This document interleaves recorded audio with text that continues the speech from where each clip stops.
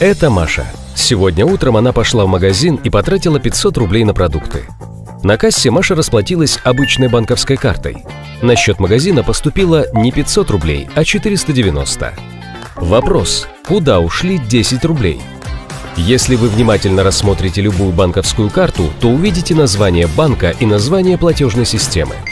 Именно банк и платежная система забирают 2% с любых покупок при оплате картой. Эти 10 рублей удержал у магазина банк, предоставив Маше удобный сервис. Сегодня миллионы людей купили продукты, и каждый раз банк зарабатывает свои 2%. В этом же городе живет Саша. Она тоже пошла утром в магазин. Но у нее необычная банковская карта. Она скачала приложение «Лови кэшбэк», выпустила цифровую карту и потратила с нее 500 рублей. Магазин получил снова 490. Зачем Саша выпустила бесплатную цифровую карту?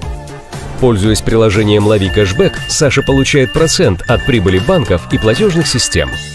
Этот процент возвращается самой Саше живыми деньгами за свои покупки и покупки друзей, которые тоже скачали приложение «Лови кэшбэк» по ее рекомендации. Ей не нужно открывать банк или платежную систему.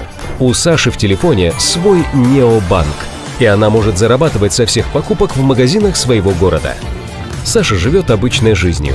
Ежедневно совершает покупки, как и сотни людей, которым она рассказала об этой возможности. Скачивай приложение, совершай покупки, рассказывай друзьям и зарабатывай без вложений –